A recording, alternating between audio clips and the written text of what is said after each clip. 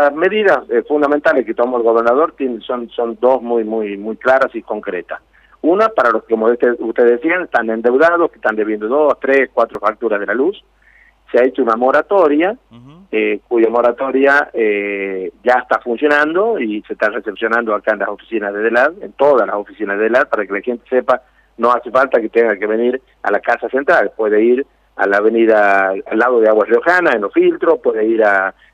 en la zona sur, cerca en el Faleo del Velasco, puede ir a la 2 de abril. O sea, hay cuatro bocas donde se pueden atender a toda la gente y eh, el personal de EDELAR está preparado para ilustrarlo sobre la moratoria. La moratoria es sencilla, aquellos que deben dos, tres o cuatro boletas a la luz deben presentarse, hacer el trámite. La moratoria consiste en darles esa deuda, extender esa deuda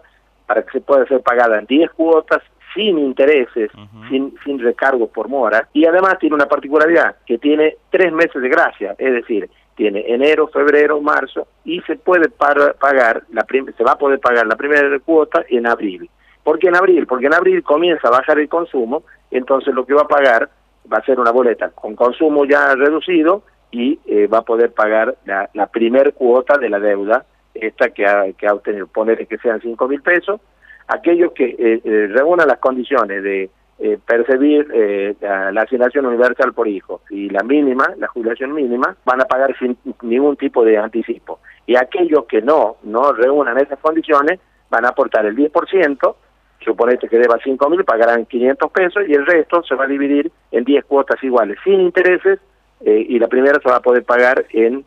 abril.